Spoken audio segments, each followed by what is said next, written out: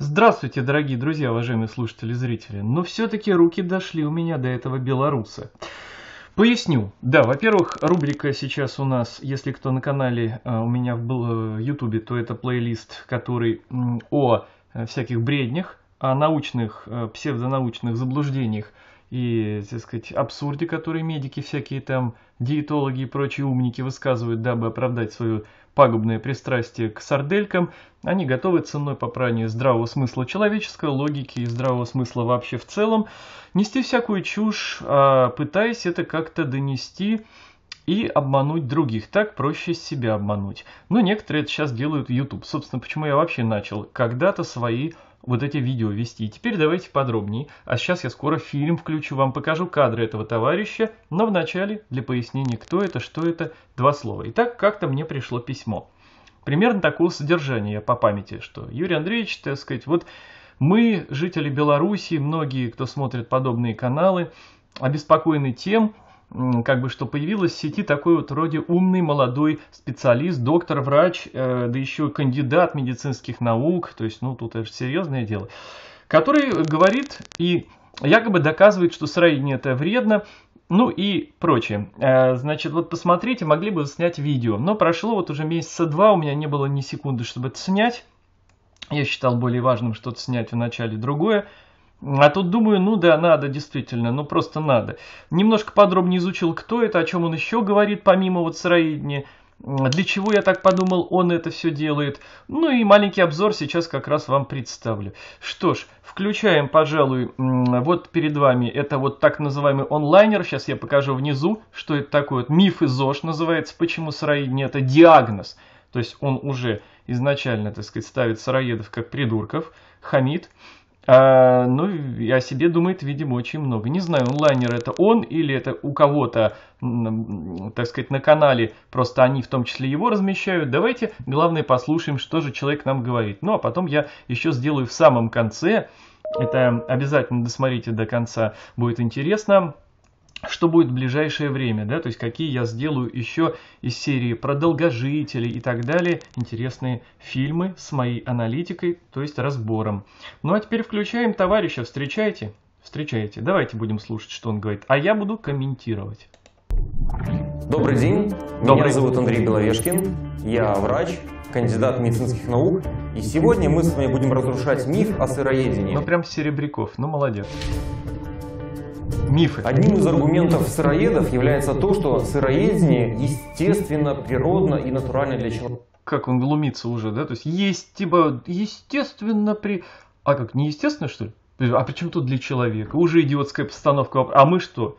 И с вами как биологические объекты из другого теста, что ли, сделаны, как другие животные. То есть у нас, он хочет сказать, биохимические процессы идут совершенно по-другому, что ли? А, ну что это за бред? То есть нельзя вообще ставить так вопрос для нас.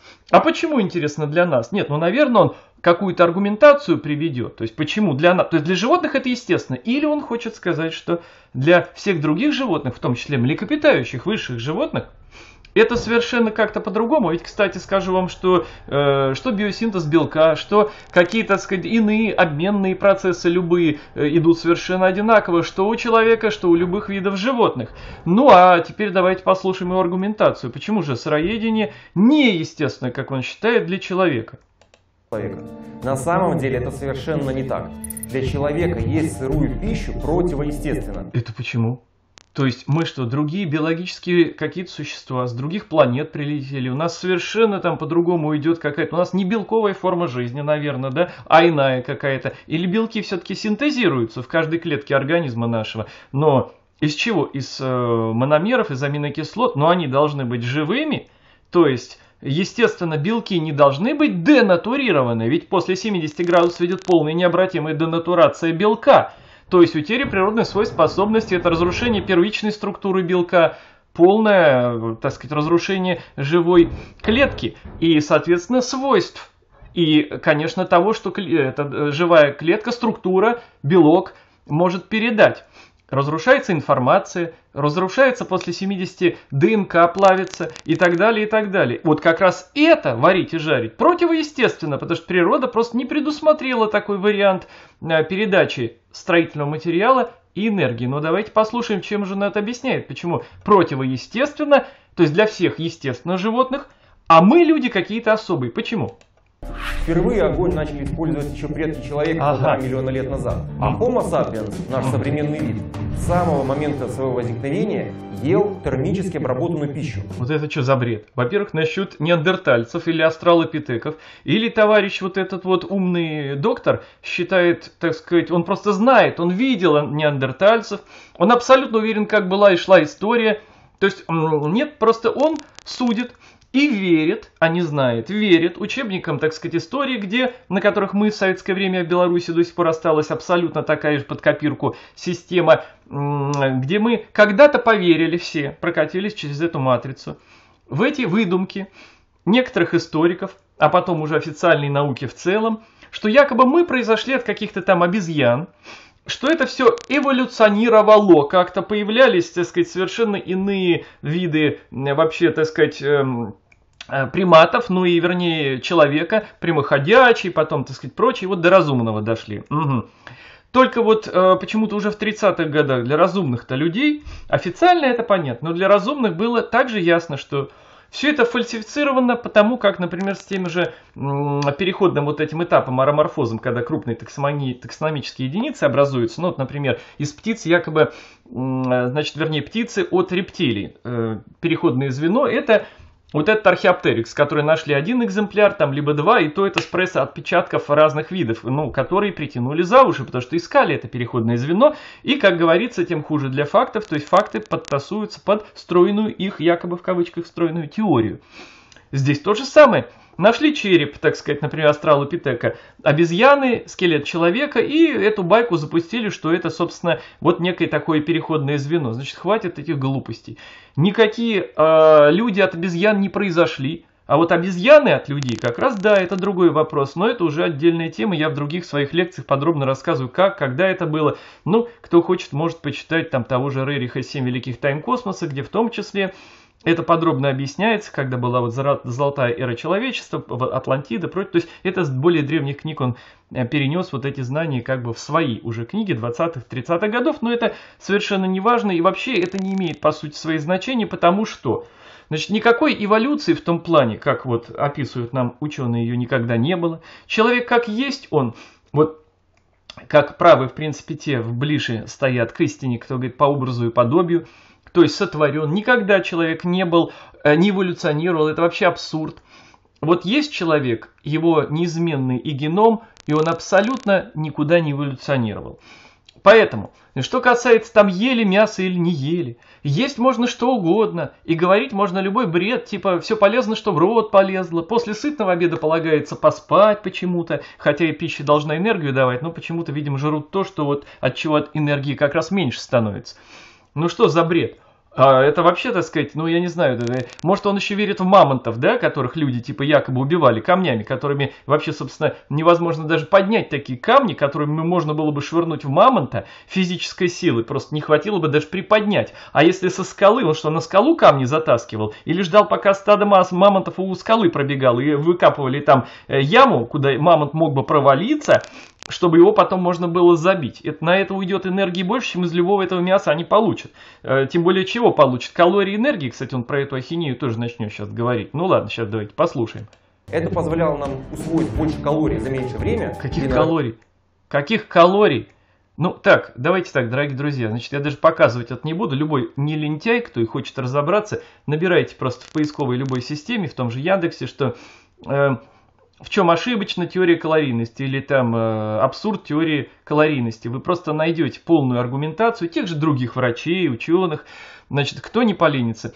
Да и вообще, как можно сравнивать вот эту температуру, которая нагревает, то есть, вернее, энергия, которая нагревает там миллилитр жидкости за этой, как можно вот эти примитивные физические процессы сравнивать со сложнейшими биохимическими процессами в организме. И есть понятие, если человек ест живую растительную пищу, как фитокалории. Никакого отношения к процессам физическим, рассчитанным в топку, как кидать дрова, это не имеет.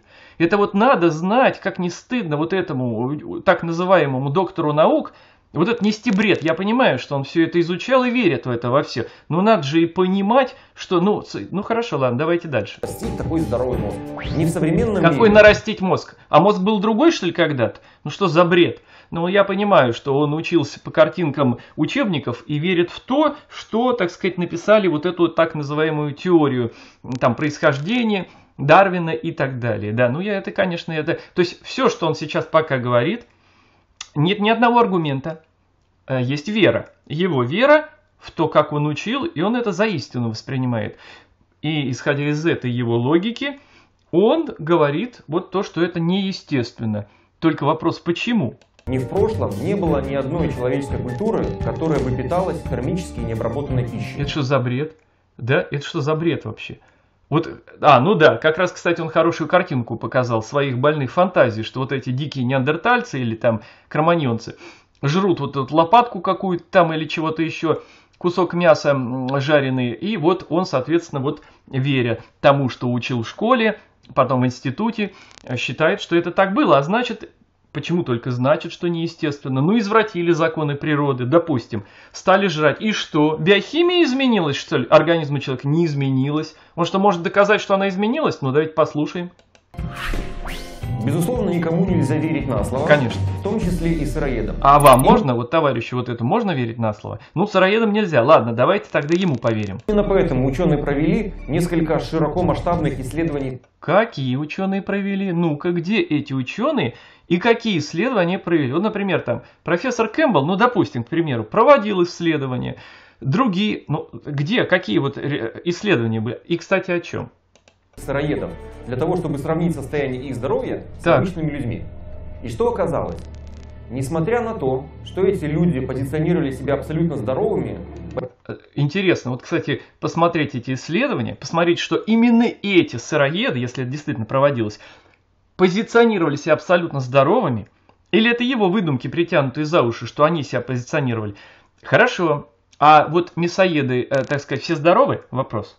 Большой процент из них имел отклонение здоровья. Правда? А, так сказать, вот те миллиарды людей, что на планете живут, они как, все здоровые под копирку, что ли? Или почти все, то есть почти 100% больные? Так э, интересно, как можно вообще это сравнивать тогда, да? Ну, хорошо, есть сыроеды и нездоровые, ведь многие люди перешли на сыроедение именно потому, что у них были очень серьезные проблемы со здоровьем, и некоторые из них не смогли их решить. Э, так сказать, кто-то, потому что времени не хватило просто на решение, кто-то, потому что ошибки делал на сыроедении, ведь их хватает полно. Кто-то, потому что хронические те болезни проявились уже просто в активную форму, потому что изменилась биохимия. И, естественно, у человека мог накопиться дефицит тех самых витаминов, минералов, а не возникнуть на сыроедении. Накопиться до из прошлой жизни или что? У мясоедов типа дефицита витаминов, минералов нет, да? Каждой третьей женщины отсутствовали месячные. Интересно. 60% людей были экстремально худые, вплоть до болезненности. Как интересно. Ну, значит, во-первых, что касается месячных, вот так, ладно, а, тоже врача, доктор Советов такой есть, кто не знает, посмотрите, просто чтобы я это не говорил вам насчет там месячных. Далее, а, что касается, там, что он там дальше говорит а, насчет дефицита. А, очень худые, типа.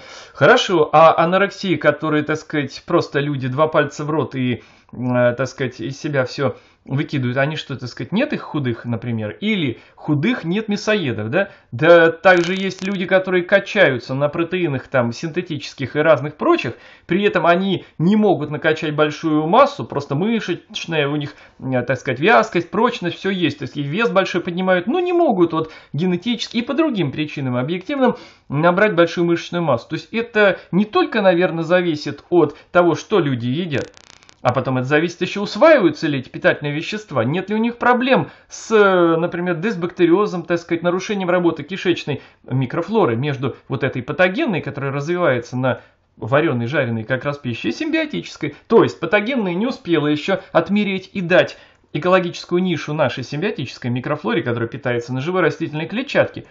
А растительная живая клетчатка хоть и поступает, но недостаточно еще количества этих бактерий. И поэтому у них еще, э, соответственно, нет тех питательных веществ в должном количестве, которые может синтезировать эта кишечная микрофлора. А из питания они, например, начинают питаться скудно. Кто-то начинает вообще двумя-тремя продуктами питаться. Есть такие.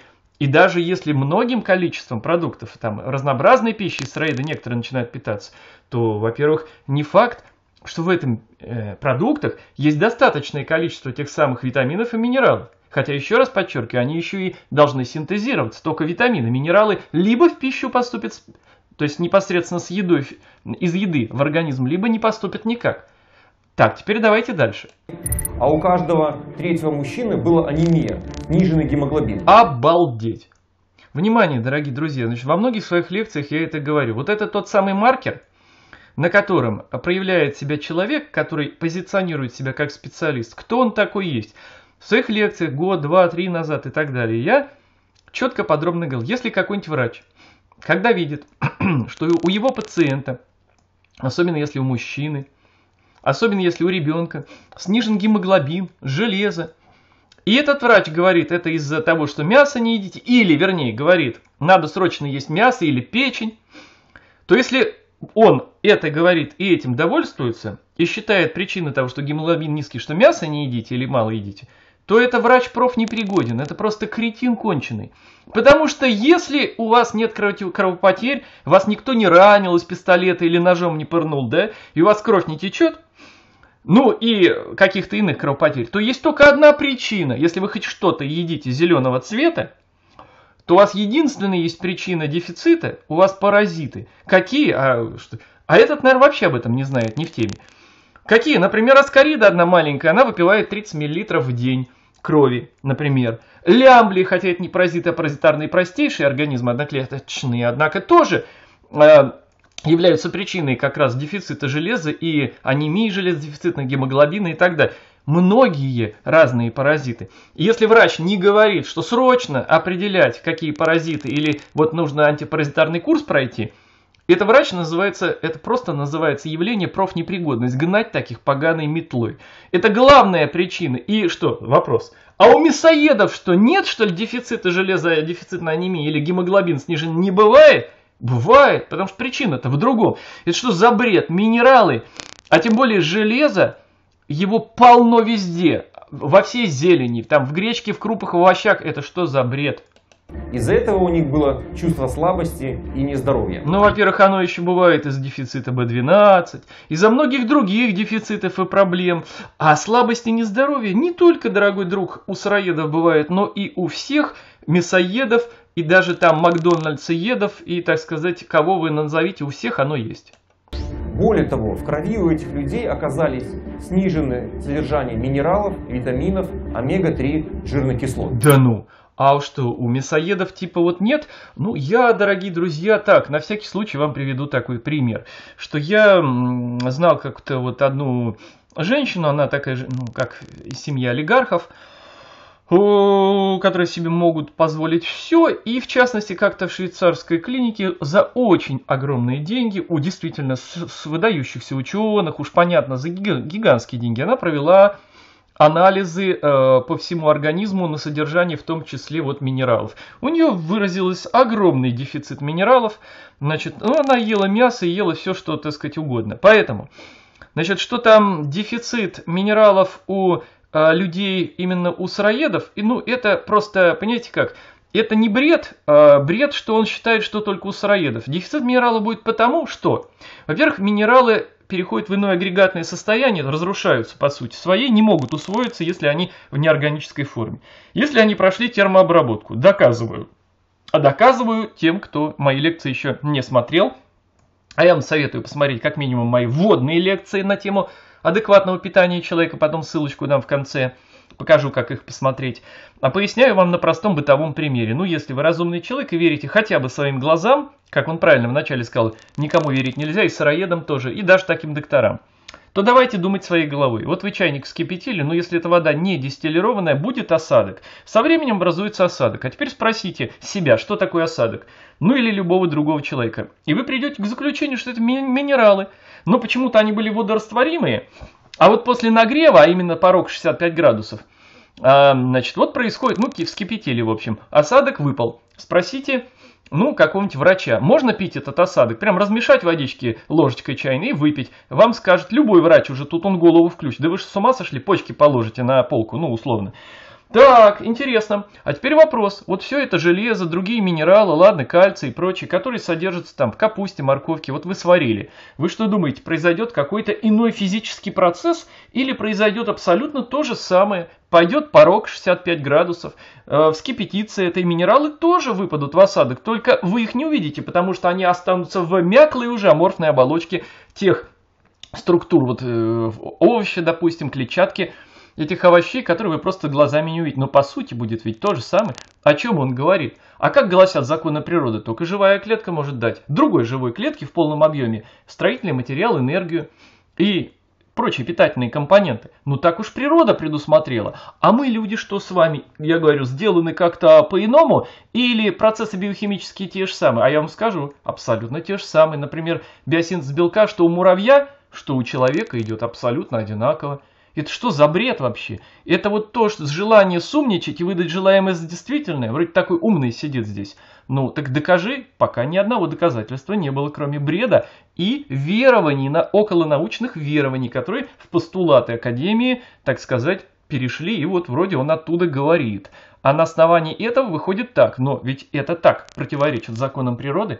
При этом, как ни парадоксально, в пищу они употребляли этих соединений больше, чем нормальные люди. Угу. Так почему же возник такой парадокс? Так. Дело в том, что термическая обработка часть показателей пищи, безусловно, ухудшает. Вот как интересно. Э, ладно, часть ухудшает, согласился он. А? Но часть показателей пищи она улучшает. Улучшает часть. Тогда что, квиты получается? Баш на баш? Тогда этот аргумент вообще не надо дальше приводить. Ну, если часть-то ухудшает, то значит мясоеды что-то и вареные еды не получают все-таки чего-то. А почему считает, что то, что они получают при варке, лучше, и, допустим, даже если вот усваивается лучше, почему же тогда это перевешивает на чаше весов то, что, соответственно, другую сторону медали, когда все-таки часть при термообработке разрушается? Вот как интересно. Ну ладно, слушаем дальше. Какие? Она улучшает всасывание многих минералов и витаминов. Итак, насчет минералов я объяснил.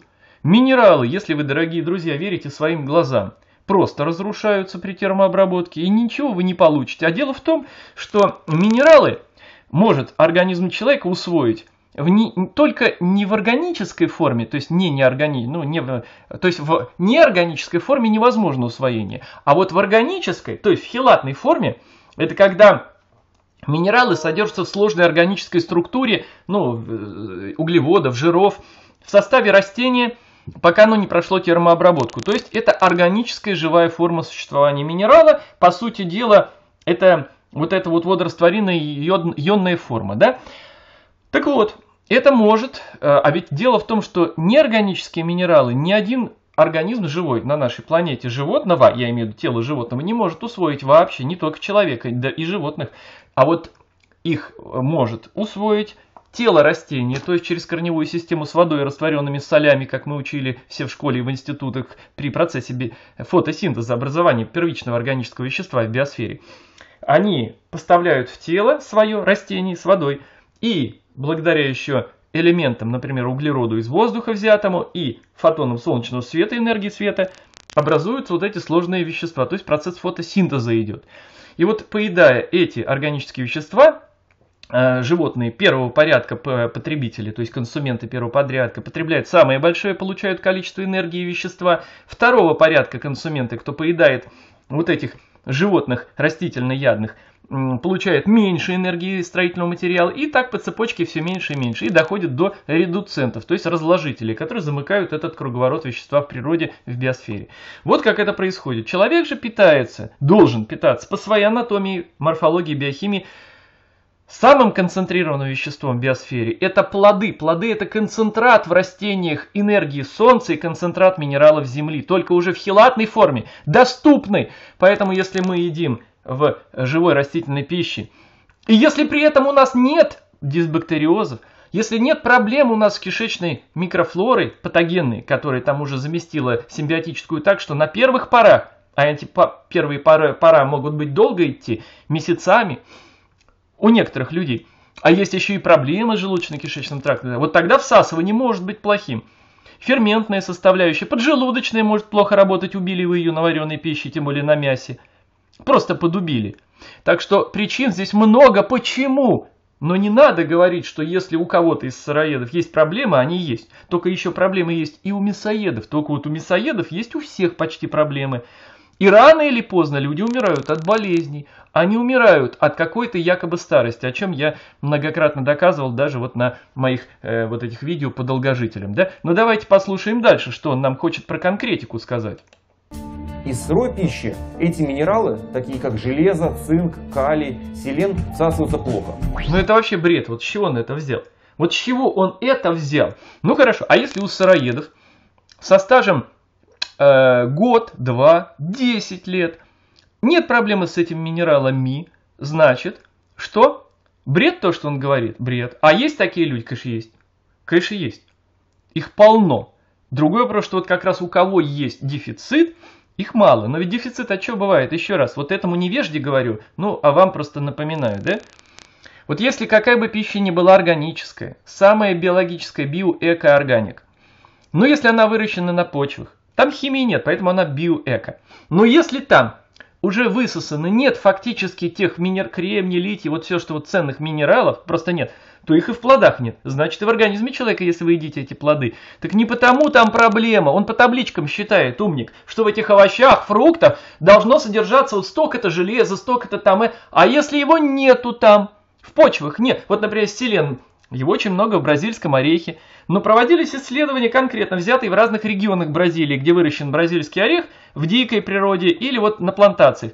До 30 раз разница в содержании минерала. Понятно, откуда ноги растут? Но это непонятно тем, у кого страдает аналитика, кто плохо понимает вообще, что такое причинно-следственные связи, кто не умеет мыслить глубоко и, что называется, копать глубоко и сопоставлять многие вещи. К сожалению, это бывает даже у докторов наук, таких вот, как вот этот мальчишка. Ну хорошо, идем дальше. Разберем на примере обычной моркови. В ней есть такое соединение, которое называется бета-каротин. Очень хитрый прием. Это излюбленный прием всех тех, кто хочет опорочить э, вообще живое питание и возвысить себя как бы в глазах э, окружающих, показать, какой я умный, какой я ученый и так далее. Но скажу вам так, что буквально 2-3 таких хитрых приемчика у них есть и не более того. Э, ну, давайте послушаем. Это антиоксидант, угу. молекула, которая защищает наши клетки от повреждений. Про витамина, Если да. мы съедим сырую морковь, так. то у нас усвоится лишь 1% бета-каротина. Так. А если эту морковь сварить, угу. то усвоится почти 50 раз больше. Молодец. То есть, значит, он доказал, что сыроедение это фигня. Как он назвал это, диагноз. То есть, психи те, кто на сыром питании. Ну и что? Во-первых, Сейчас я вам поясню, чтобы уже вы знали наверняка и всем умникам, кто такую хинию повторяет вот за такими выскочками, чтобы вы могли понять, доказать, объяснить, в чем заблуждение таких вот товарищей, людей. Ну, что ж, давайте я вам сейчас это скажу. Вот я вам включу... Э, значит, а из обычных всех справочников прочих, где бы вы там не хотели взять, прочитайте. Во-первых, бета-каротин это очень хорошо, но степень усвоения его зависит от полноты разрыва клеточных оболочек.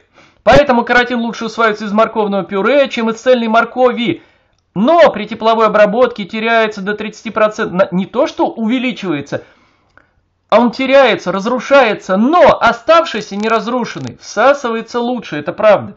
Но почему? Не потому что сыроедение ерунда, варенка вот так хорошо действует, а потому что разрушаются клетки, целостность оболочек.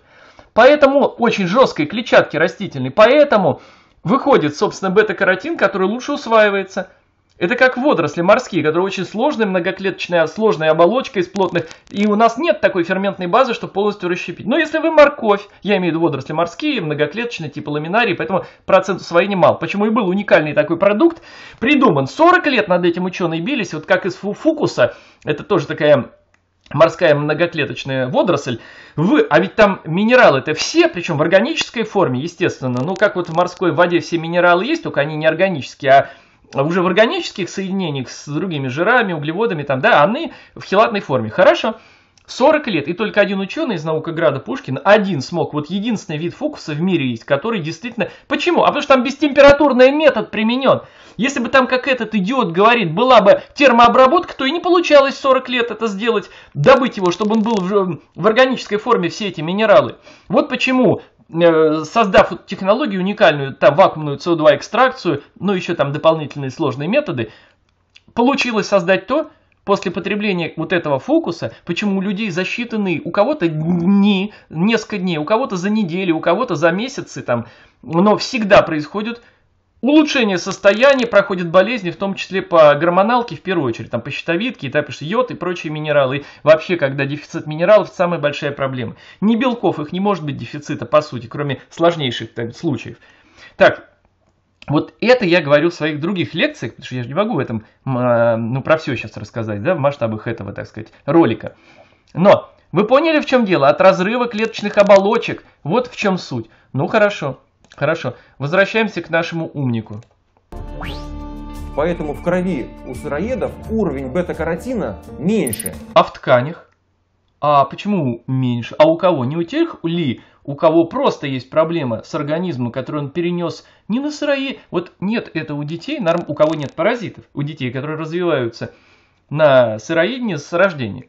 Нет этих проблем, но, так сказать, конечно, у человека была прошлая жизнь, он очень много нагадил себе, но пока человек не меняет пищевые свои пристрастия, вообще никак не меняет, у него так шатка-валка, ни шатка, ни валка и идет потихонечку. И поэтому вроде как-то, вот как люди говорят, приспособился организм, хотя это неправильное выражение, он, конечно, не приспособился. Он просто удерживает в вяло текущем состоянии жизнь людей. Другой вопрос, что если вы пьете уникальную и качественную воду, как вот в тех местах, где долгожители, даже при неправильном питании, степень очищения организма превалирует над степенью его загрязнения и откладывания ядов токсинов в самом организме, которые приводят к многим болезням. То есть есть на все факторы, еще раз говорю. Любые э, последствия, у них есть причины. Но говорить о том, что сыроедение – это диагноз, то есть говорить природа, ты дура, он говорит, ты, ты природа идиотка. Ты, мол, вот для всех животных на своем столе скатерти самобранки живой природы там все приготовила, а мы должны доготовить. То есть ты для нас, мы какие-то особые. Ну, вот это может сказать только совершенно глупый человек – либо совершенно необразованные, либо кто ни разу не задумывался вообще над этим. Кто не задумывался, нельзя обижать таких людей. Ну, не задумывался, я тоже когда-то не задумывался, хотя биолог сам, и, так сказать, вот стыдно вроде. Ну, стыдно и ему, но я нашел себе, так сказать, разум и, так сказать, мужество сказать, что был идиотом. Но почему, так сказать, человек, который задумывается над этим очень серьезно, он просто поднял тему средней, не удостужился проанализировать, понять, он просто оправдывает свои пороки, пристрастия, а самое лучшее оправдание их – убедить себя путем омарывания противоположной стороны. Не приведением доказательств, а, так сказать, якобы констатацией каких-то постулатов. Несмотря на то, что с пищей они едят его намного больше. Термообработка делает многие витамины и минералы более доступными из обычных овощей и фруктов. Итак, минералы разрушаются полностью – Например, кстати, органические вот форма существования кальция, это органит, например, кальция, ну, который, скажем, в овощах тех же. А карбонат кальция, который из воды обычный, минеральный, там из скважины, который течет, не может усвоиться организмом человека. Ты хоть опейся, только почки посадишь. Третий миф, связанный с сыроедением, то, что оно сделает вас более просветленным, либо... Ну, в общем, а, интересно, когда у товарищей таких не находится никакой аргументов там о научной а, биологической пользе или вреде чего-то, они начинают уже придумывать там, вызывать психотерапевтов, как вот это было э, в одной передаче, которую я разбирал, где там всякие диетологи, там и Баженов был, и всякий вот этот Бранштейн, э, академик, так сказать. И вот, кто не смотрел, обязательно посмотрите. Ну и они уже тут вот доходят до, ну ведь поскольку надо что-то сказать, э, хоть что уж надо придумать. Ну, это вообще интересно, давайте послушаем. Более духовным. Практически все сыроеды орторексики. Орторексия – это такое нарушение пищевого поведения, ну, когда человек считает, что он ест правильную еду. Обратите... То есть, подожди, а если действительно человек, вот нормальный человек, но он и считает, что он ест правильную еду, если он понимает, почему эта еда правильная, что это разумно, но не зацикливается на этом, просто ест и все, да, он понимает, что прав. Ну а если он прав, вот тут два ведь варианта, прав или не прав. Если он прав, а почему ему нельзя считать, что он прав? Он что, из-за этого психом становится, что ли? Вот что за дебил, да? Ну я просто поражаюсь, только извините, конечно, но как по-другому можно сказать? Внимание, не здоровое питание. А может все мясоеды от орторексики? Ну, а почему бы нет? Правильное питание. И человек считает, ну. раз он ест правильное питание, да. значит он правильный. То есть человек пытается самоутвердиться с помощью еды. Так вот то, что сейчас делает этот товарищ шашлычник, вот этот вот, который там оправдывает свою сардельку, он и есть орторексик, он же, так сказать, считает себя правильно, что он это ест, сбалансированно. То есть и то должно быть, и то, о, нашел золотую середину, все. И он считает, что он прав. Так он и есть орторексик тогда, да? Все. Сектант, псих, орторексик и почувствовать себя лучше, чем остальные люди, которые якобы едят. А если он не просто чувствует, да, во-первых, он чувствует, что он лучше, допустим, и что? Онкология, а другие болезни, которые на сыроедении, миллионы уже людей, ну сотни тысяч, по крайней мере, излечились.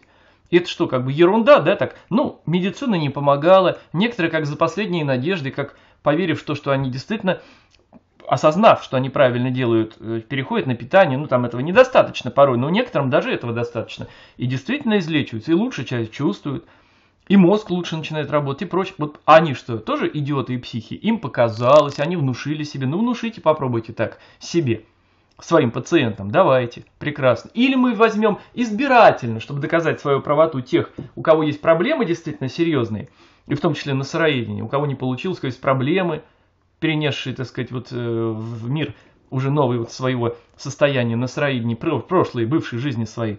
И мы будем за это цепляться и показывать таких людей. Это как говорить, вот, вегетарианцы или там веганы, это вообще мерзавцы, негодяи, э, так сказать, допустим, маньяки, вон Гитлер, и начинают приводить пример. Ну, это дебилы, это же специально подтасовка фактов под свое э, личное, вот, так сказать, корыстное использование. А давайте, кстати, посмотрим, а есть ли у него какая-то корысть? И я вам сейчас расскажу об этом чуть дальше. Неправильно.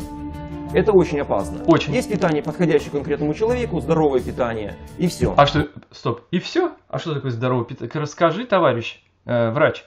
Что ж такое здоровье? А, это, это когда все в меру, это сбалансировано, это, ну я понимаю, молодец, доказал. Поверьте, человек не становится лучше либо хуже от того, что он ест те либо иные продукты. Так и да, и что ты этим доказал, товарищ дорогой? Да, собственно, ничего, и я это говорю абсолютно так же. Конечно, не становится. Нет, но он может стать лучше, потому что он просто становится, он зад... у него жалость появляется, сострадание. Конечно, он лучше станет, если у него мотивация вот именно этическое, конечно, такой человек лучше становится. Хочешь ты того или нет.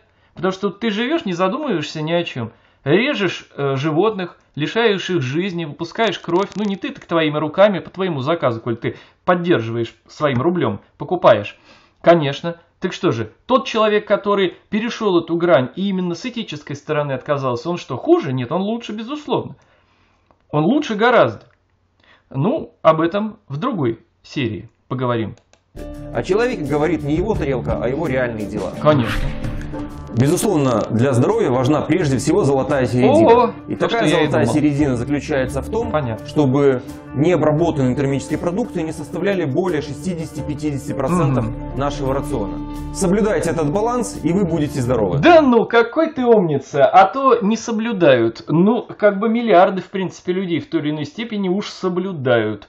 И почему-то они больны, и почему-то и рак, и другие болезни только молодеют, и чуть ли не в геометрической прогрессии у большего количества населения разных стран мира, когда причем те, кто потреблял, например, действительно народы целые живую растительную в основном пищу, низкокалорийную, бедно жили, у них не было этих болезней, но тут они начинают по европейскому стандарту жрать по много раз в день, есть много, есть калорийную, мясо, что будут 30%, а 70-60% типа даже растительные, хотя на самом деле сейчас уже гораздо меньше, но неважно. И, по, и у них, у всех появляются болезни, которых не было еще отцов, дедов и так далее. Как хорошо он рецепт дал. Нашел гениальный человек, наверное, Нобелевской премии мало. Мол, ешьте вот 30 на 60, 40 на 60 и все будет зашибись.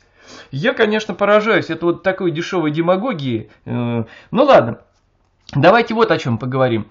А почему я вот задумался как-то? Этот человек прям так остервенело вот э, про эти так называемые якобы мифы сыроедения решил разоблачить. Я подумал, ну поищу, что он еще говорит, о чем. И вот, дорогие друзья, я нашел, о чем он еще говорит.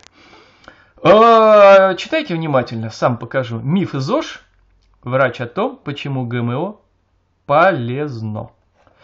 В принципе, я думаю, что можно даже было бы не ставить. То есть уже то само по себе, что он считает ГМО полезным – и призывает его есть, э, уже становится понятно, что на кого-то, видимо, и каким-то интересом он служит, на кого-то работает, э, хочет довести вот до сведения всех людей, вбить в голову им, что срание вредно, что ГМО полезно, ну и так далее. Давайте послушаем, я все-таки кое-что и здесь прокомментирую. А врач, кандидат медицинских наук. Молодец. И сегодня мы с вами начнем Гениально. новую серию видео. В этом цикле мы будем говорить про мифы здорового образа жизни. Угу. Хорошая серия. Кстати, э, давайте-ка я сразу покажу вам еще один кадр и вернемся к этому. Посмотрите в другом его видео, где я обнаружил на фоне чего его. Я вам потом еще раз к этому вернусь, после того, что он скажет про ГМО. Ничего не замечаете? Во-первых, конечно, если он белорус, а он белорус, да?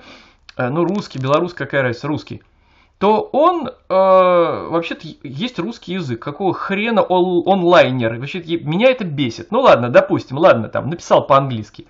А вот этот английский флажок, что тут делает? А может, он как раз и служит э, корпорациям и хочет сбить народу и Белоруссии, и России э, то, что хотят до них донести, и хотят, как, чтобы жили наши народы, вот эти владельцы транснациональной корпорации, которые проталкивают это все, чтобы свое господство мировое окончательно и бесповоротно закрепить. Для этого надо, чтобы люди были больные, ходили в супермаркеты, а сразу на выходе из супермаркета были аптеки. Чтобы в супермаркете было ГМО, а чем надо долечить, поддержать, пока еще человек лопатой может ковырять, ну условно. Так это в аптеке напротив.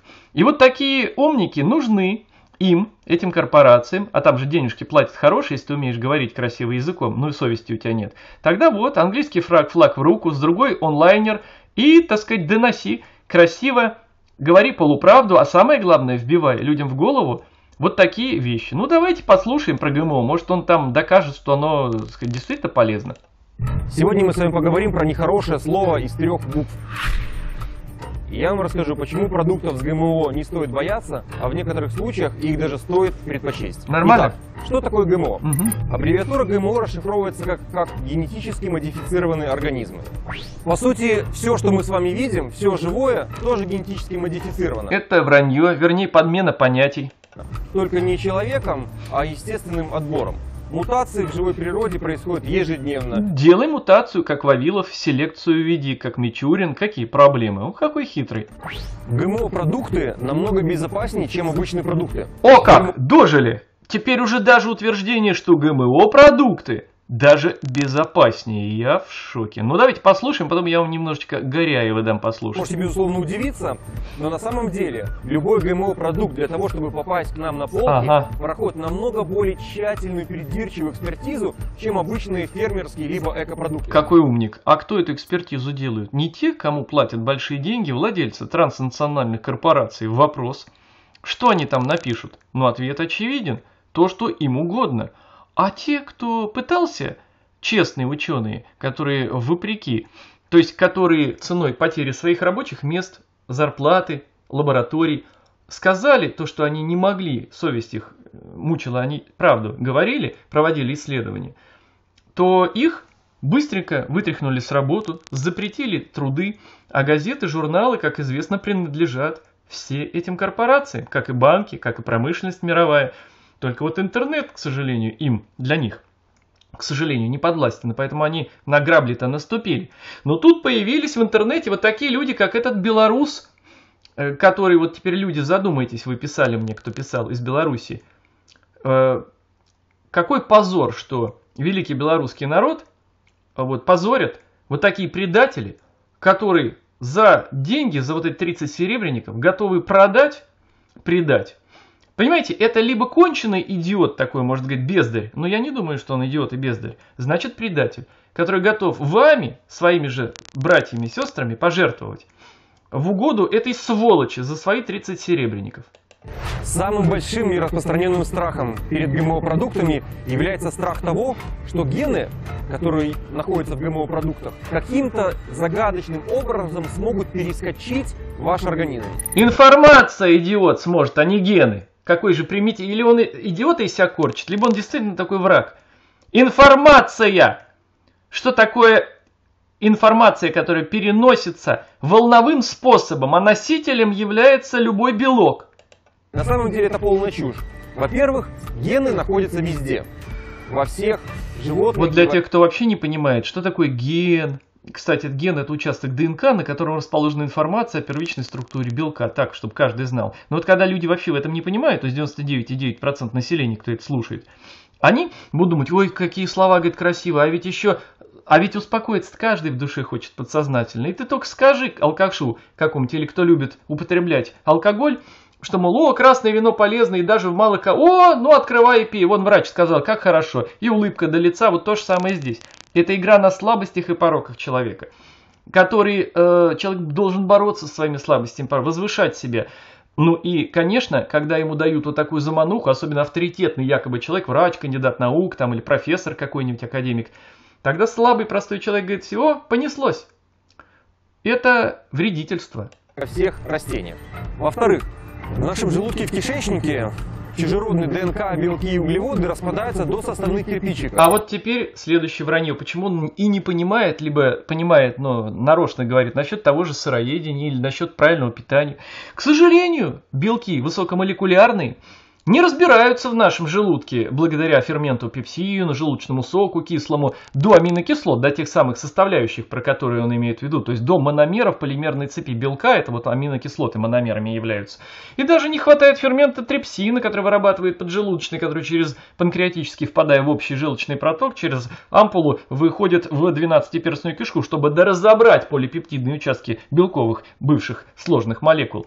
Не хватает, и белок-то всасывается цельным, и вот тогда в реакцию вступают иммунные клетки, иммунитет наш, это лимфоциты, макрофаги, которые должны уничтожить этот любой белок, который попадает в организм, будь то этот белок вирусом, грибком, бактериям, либо вот трансгенной съеденной куриной ножки, которая съела курица, я имею в виду, до того геномодифицированную соевую муку или там кукурузу, что там им в комбикорм подмешали.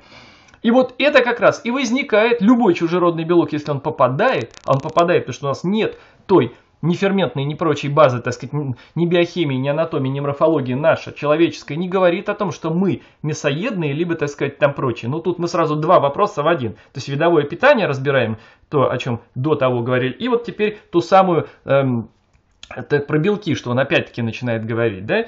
Так вот, и получается, что информация передается, это утилизируется белковая структура, но информация-то остается, и давайте тут я вам включу вот такой вот интересный, э, так сказать, ну, э, видео, да, я вам поставлю, вот это академик Горяев, причем двух, э, там академик, ну, э, двух академий. Дело не в этом. Волновая генетика есть такая наука, по сути, он один из тех, кто потому что, понимаете, нельзя разбирать науки, по сути, это правильно, по отдельности. Физика, биология, химия, все это между собой связано. Чтобы понять сложнейшие процессы биохимические, недостаточно знать отрывочно отдельных видов каких-то там знаний и данных.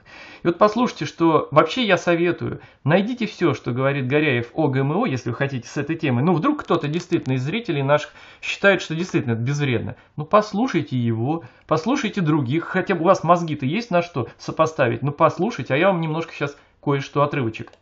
И вот когда вы выносите чужеродный ген в геном растения, пшеница, ячмень, картофель, там, и так, томат и так далее, их полно сейчас, полно, то вы изменяете пунктуацию и меняете смыслы.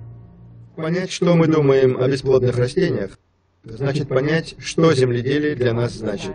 Технология, которая обрывает жизнь в семенах, вырывает жизнь из всего сельского хозяйства, и это своего рода процесс гибели. А есть еще другая вещь, она похитрее и поумнее. Это роль контекста. Вот смотрите, в каждом языке полно амонимов. Слово, которое имеет несколько смыслов. Например, слово «коса», слово «ключ», слово «рейд», слово «бокс» и так далее. Оно имеет много смыслов. И вот коса, вот характерно, например, коса. Какая коса? Девичья коса или коса, которая косит траву, или коса на реке, песчаная коса. Да? Это зависит от понимания. Точная семантика, точный смысл придается чем? Контекстом. Когда ты это слово помещаешь в целое предложение, то становится, ты придаешь точную семантику этому слову. Так вот, когда вводят чужие гены в хромосомы растения, животных, бактерий и так далее, меняется контекстуальный пейзаж. И тогда гены, которые имели вот строго определенный смысл, они приобретают совершенно другой смысл. Не только гены, а даже кадоны в пределах. Долгий разговор. Значит, у меня последняя книга посвящена именно этому. Кадоны меняют свои смыслы, даже есть 32 кадона синонима, где точная информация, что они кодируют, какой аминокислоту. Есть кадоны амонимы, которые неопределенно кодируют то ли эту аминокислоту, вставить белок, то ли эту, и построить белок. А мы, наш метаболизм построен на белках в основном, ферментах. Если вы ввели в контекст чужое слово, например, войну и мир, давайте проще так, понатыкали в войне и мире новых слов и даже фраз. И запятые перепутали и точки. Вы получите кашу. Это не будет война и мир. Так вот, что будет на втором-третьем поколении, вот без этого умника-теоретика, вот этого врага народа, по-другому я здесь сказать не могу, потому что мы добрались до сути своей. Я в свое время много лет назад увидел на своих скатах. Он болтун, я практик. Э, у меня были сотни пресноводных скатов. Я разводил их тысячами. У меня была одна из самых больших в мире коллекций. Я тысячи скатов развел пресноводных, а, которые были получены из Перу, с разных, э, из Бразилии, Колумбии, с разных притоках и рек Амазонки. Это была сложнейшая научная, в том числе, работа по селекции, по выведению новых пород, гибридов.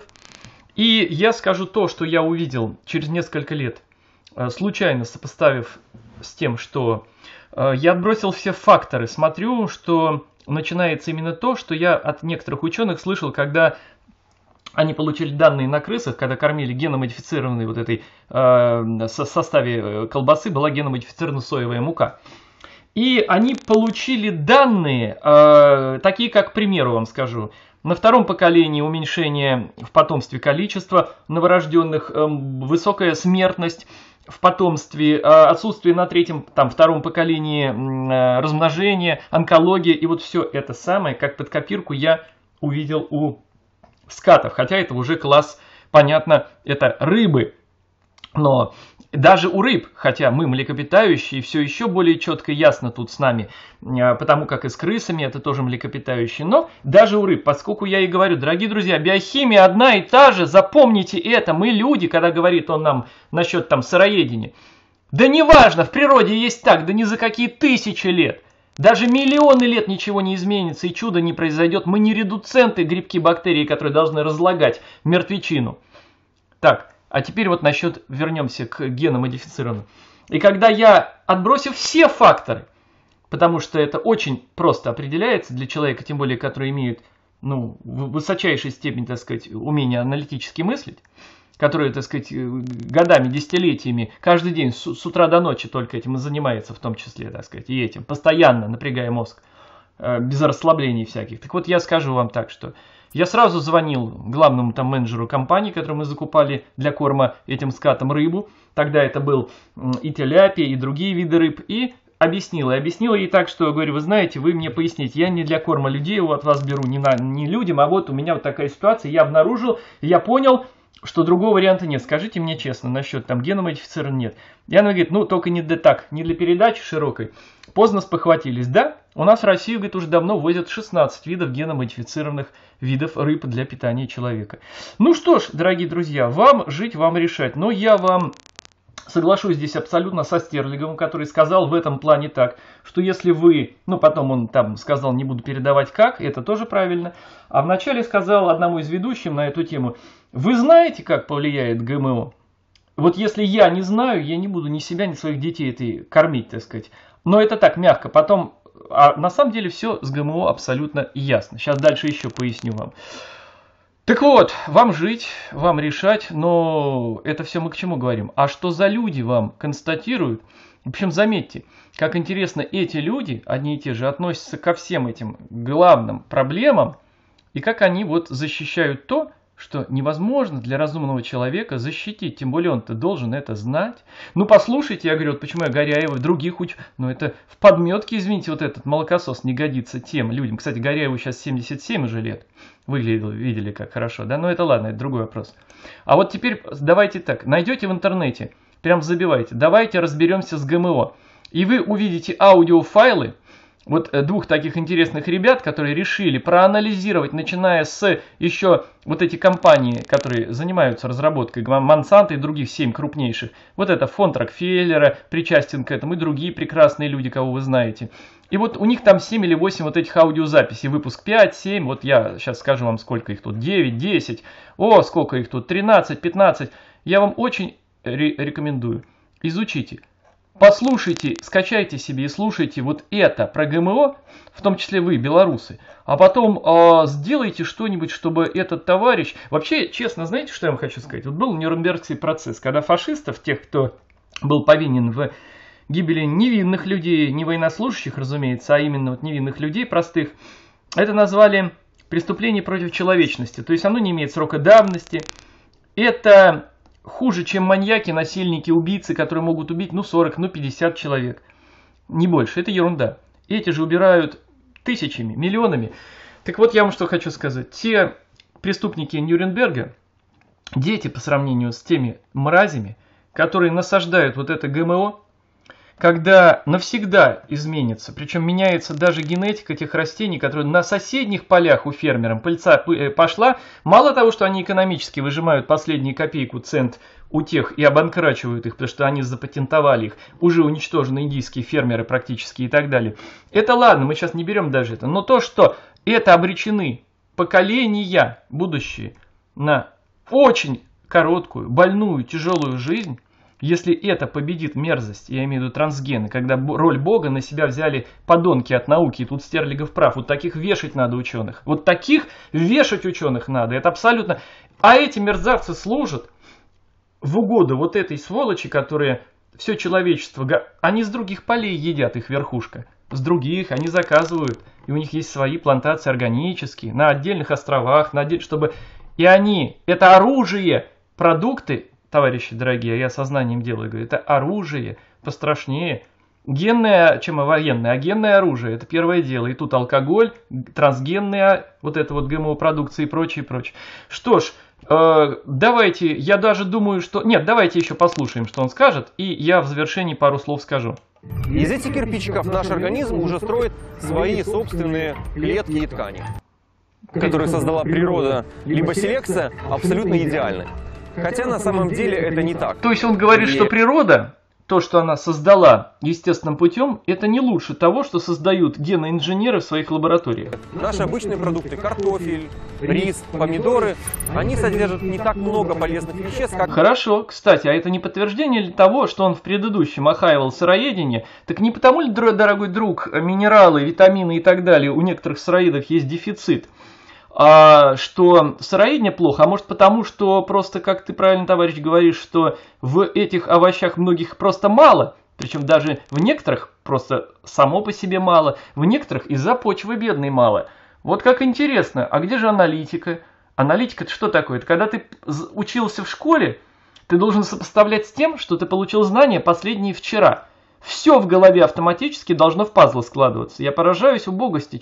И этот ученый, как же деградировала наука? бы нам хотелось. И это очень легко исправить с помощью средств генетической инженерии. Вот как хорошо. Так, например, в странах Азии есть большая проблема.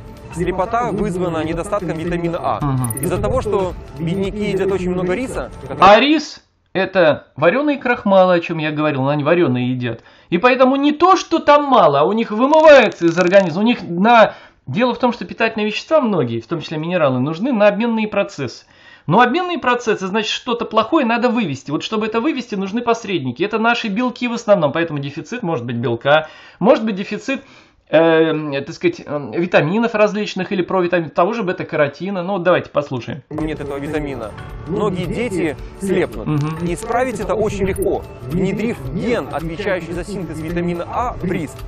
И такой рис был создан. Называется золотой рис. Какая радость. И его употребление в пищу позволяет целиком решить проблему слепоты. А также проблему деторождения, проблему перенаселенности, якобы созданную, хотя на самом деле ее нет, и проблему, так сказать, как лишнее население уничтожить. Ну и контроль населения, а также продуктовых, эм, так сказать, всех цепочек, то есть начиная от производителей под контроль взять а, и монополизировать, чтобы 5, 7, 8 компаний в мире правили и ели люди то, что они хотят. Но вот такие рупоры будут говорить и проводить их идеи в жизни. Прекрасно. Ну и в заключение. К сожалению, зачастую у местных жителей этот продукт находит не понимание, а лишь протесты, которых они пытаются уничтожить свои же плантации. Идиоты, понятно, люди, да. Которая суммировала более 500 серьезных научных исследований на протяжении 25 лет не выявила никаких побочных эффектов от выращивания и употребления я просто в шоке. организмов. Я просто в шоке. В свое время в Советском Союзе генетика была запрещена как продажная девка империализма, угу. наряду, кстати, с кибернетикой. Угу. И именно поэтому мы сейчас едим зарубежную сою, зарубежную кукурузу и многие другие продукты. А надо, мол, свою, как в Беларуси, тот же Стерлигов прав, уже кос геномодифицировано, геном человека, уже делают. Ну так не служит ли этот товарищ вот этим корпорациям, которые продвигают все это? Ну, судя по всему, я думаю, да. Генетически модифицированные. Если мы с вами начнем, как, например, в соседней стране, запрещать выращивание, Это в России. и продажу генетически модифицированных организмов, власти надеются сделать отечественные продукты одними из самых чистых в мире с точки зрения технологий. То это приведет к тому, что продукты из тех стран, которые вкладывают большие деньги в генную инженерию, будут более дешевыми, более качественными, более свежими. Да вы хоть вы бесплатно их сделаете. Вы хоть бесплатно завалите. Нормальный человек это не будет потреблять, если он заботится о своем здоровье, своих близких. И слава богу, что Россия действительно выполняет вот это, что называется, такое сакральное свое предназначение, о чем говорили, ну, вплоть до, там, я не знаю, индейцев Северной Америки, тому же Сэпа Хольстера, который мне это рассказывал, например, да, в частности. И так далее, и Гедгар Кейси, и прочее, то есть все, что возрождение, я надеюсь, что здравый смысл победит, и действительно, мы не уничтожим свою планету, мир, в котором живем, в угоды кучки сволочей и большей части предателей своих же народов, которые в разных странах есть предатели, или придурки, которые повторяют за ними, или предатели. И мы не пойдем на это. И вот последнее, давайте послушаем этого товарища, и я заключительное слово скажу. Придя на наш рынок, эти продукты разрушат наше сельское хозяйство.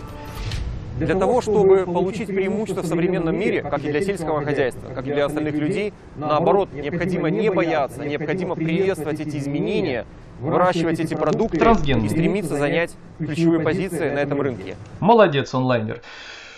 Ну что ж, дорогие друзья, вы разумные люди, вы все слышали, э, вы поняли, что это за человек. Видимо, также вы, сопоставив разные вещи, наверное, и факты, сможете теперь ответить, особенно вот белорусы, кто меня просил изначально, вот женщина одна написала. Я и вам, и многим другим, таким вот, собственно, своим видеоответом пояснил, что, к чему, откуда ноги растут, и э, все это взаимосвязано. Поэтому те люди, которые против там сыроедения, здорового образа жизни, которые пытаются извратить, опоганить, охаять, они будут предлагать немногие якобы аргументы, которые, конечно, не подтверждаются ничем, Безусловно, они не научны, они никогда не приведут ни одно доказательство.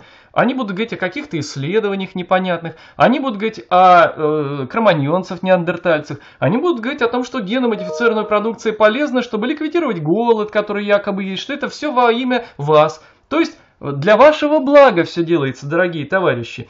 Вы сами себя грызите, убиваете, так сказать, опускаетесь морально, пейте, курите, все что угодно. Нет, ну кто-то про это не будет, конечно, говорить, а кто-то и говорит. Потому что все для вашего блага. А Министерство здравоохранения позаботится. Надо, видите, как, как Россия плохо поступает, что геномодифицированные не разрешила. Ну, зато мы тихой сапой пройдем. То есть корма для птицефабрик, для свиноферм, комбикорма. Туда-то ведь входят в состав геномодифицированная соевая мука и кукуруза, но де юра такие корма не считаются геномодифицированными. А значит что? А значит их можно продавать и люди их считают не гено. Но, к сожалению, Волновая генетика, наука есть. Мы же знаем, что вода имеет память, информацию. Это то же самое, просто изучите, товарищи дорогие, чтобы не позволить себя обмануть, чтобы не дать мерзавцам вот уничтожить нас, отдельно взятых нас, людей, семьи наши и наши будущие поколения, да? Давайте этому воспротивимся и не позволим. Ну а теперь, я думаю, в завершении единственное я сделаю маленький анонс. Ну а вы уже скажите, кстати, поставьте свое, свои отзывы о данном видео, что я сейчас записал. А анонсы будут ближайшие, я сделаю обязательно лекции о долгожителях. Кстати, вот, например, я сделаю, ну, вот маленький кадр сейчас вам покажу. И вот об этом я нашел архивные, тоже очень уникальные старые видео. И вот посмотрите, дорогие друзья, маленький кусочек, что называется, в завершении. Маленький кусочек.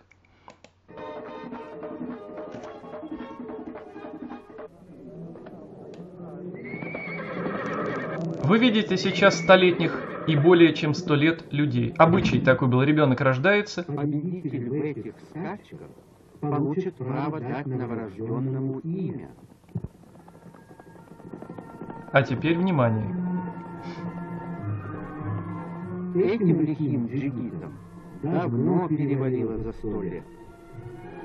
Нормально, да? Ну, хорошо. На этом мы остановимся. Так вот, я вам расскажу еще о интересных очень видео. Помните про мой последний фильм «Абхазия долгожители», да? Где, так сказать, э, вплоть до людей, приводились примеры людей до 146 лет.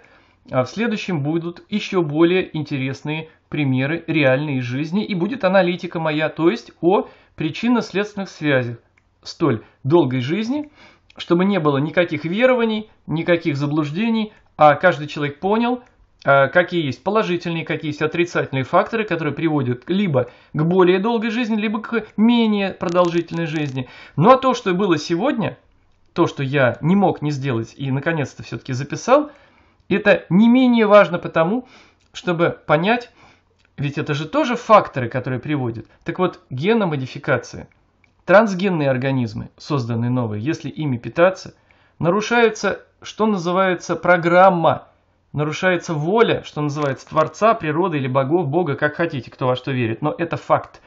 И то, что это происходит уже на буквально втором поколении, то, что будет и с вами, если вы будете это есть, это проверено. Мной на моих, к сожалению, так получилось подопытных животных, у других на других – так вот, давайте не позволим этому эксперименту, а результат его известен уже, делать, ставить на нас. Пусть на себе сволочи делают эксперимент.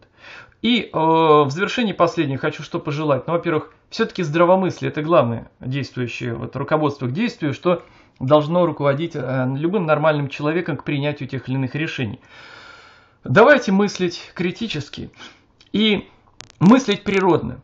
Природа все предусмотрела и все создала. Мы, люди, извратили, уничтожили, изгадили.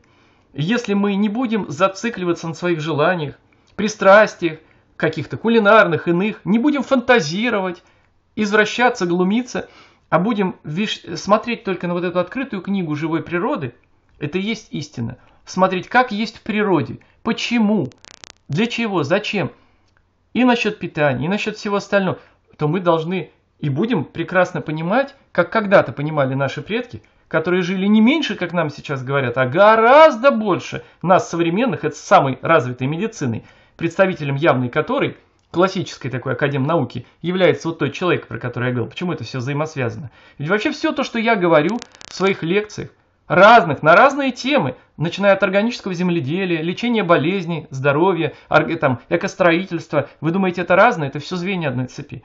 Я понимаю этот мир в целостности, как он есть. Я пытаюсь донести в разных своих лекциях, поэтому я жалею, что некоторые люди, как мне, кстати, некоторые уже начали писать, ой, как жалко, что я сначала из-за какой-то рекламы, там, поддавшись на это, аллергия у человека возникла, как про рекламу чего-то речь пошла. Я не смотрела ваши вот другие лекции, теперь я буду смотреть. Смотрите, потому что это, э, ну, не мне будет от этого хуже, что вы не посмотрите, а вам, потому что, возможно, вы увидите, поймете, узнаете то, что поможет вам улучшить, изменить свою жизнь к лучшему. Ведь моя главная мотивация это. Ну, безусловно, я надеюсь на то, что победит в каждом из вас, из нас, здравомыслие. И важно сохранить, какой бы нации мы бы ни были, свою народ, свою национальность, обычаи своей культуры, потому что без сохранения и культуры, и обычаи, в том числе начинает, э, так сказать, э, во всех проявлениях, да, ее, э, то мы, конечно, как народ обречены. А это нельзя допустить, потому что только для врагов народа, для тех самых транснациональных корпораций, властителей мира, мирового правительства, как хотите назовите, вот для них важно то, чтобы из людей, из народов сделать общечеловека. Толераста, всякого, так сказать, э, который будет терпеть все, что угодно. И молчать. И жить, и есть все, что им подсунут. И думать, как им скажут думать. Вот, будут думать, что это правда они думают. На то и есть такая методика, называется бесструктурный метод управления, к чему мы в той или иной степени все про подверглись, прокатились через эту матрицу. Давайте из нее выходить. Давайте будем здравомыслящими, разумными людьми, которые, так сказать, хотя бы задумаются над тем, для чего мы живем, как, что мы после себя оставим, какую память. Жаль, что эти люди, то ли они бездушны, то ли они так продажны, что за деньги, деньги неплохо, для, за не, деньги для, нужны для нормального человека, чтобы воплотить свои идеи, мечты, чтобы создать какие-то производства, какие-то технологии, которые помогут и человеку, и природе жить, так сказать, не убивая друг друга в гармонии, и для каких-то еще целей. Но если это самоцель, чтобы жировать и просто паразитировать на теле других э, простым способом, какие они могут, а другими просто у них работать трудом тяжелым не получится, то вот это люди, конечно, называть их таковыми нельзя. И, к сожалению, есть такие люди среди науки. Они понимают, что им проще языком махать и что-то делать в лаборатории, что у них получается, чтобы что-то создавать, а за это им деньги будут платить. И не важно, что они создали и к чему это приведет. Но вот это, конечно, допускать нельзя. Ну что ж, делать выводы каждому, оценивайте данное видео, поддержите мой канал, если вам понравилось, если вы считаете это нужным, ставьте так называемые лайки, пальчики вверх, я их называю. Ну а если кто-то захочет поставить пальчик вниз, всегда находится несколько человек, которые ставят, причем некоторые в самом начале, они следят, ненавидят и ставят. А все-таки перешагните через свою гордыню или глупость и напишите, почему вы поставили. Только обоснуйте. А не так просто. Найдите слова, аргументы, как если вы разумными людьми себя считаете. Ну и для всех остальных поддержите канал. И чем больше будет подписанных на мой канал людей, тем быстрее создам еще более интересные ролики и, может быть, телевидение даже свое создадим. Будем приглашать очень интересных людей, экспертов, честных, порядочных. Будем показывать, как идет жизнь где-то в глубинке, о каких-то интересных хранителях той или иной информации, традиций. То есть будут разные новые появляться подразделы. Поэтому, я думаю, будет это всем интересно. И поддержите, то есть э, подписывайтесь на мой канал. Распространяйте эти видео другим. Советуйте смотреть друзьям, знакомым, коллегам по работе. Ну и все мы, наверное, изменим мир к лучшему, уж в этом я не сомневаюсь, только не ленитесь. От каждого из нас это зависит. Давайте помогать друг другу. Всего вам самого лучшего, дорогие друзья. Увидимся. До новых фильмов, до новых встреч.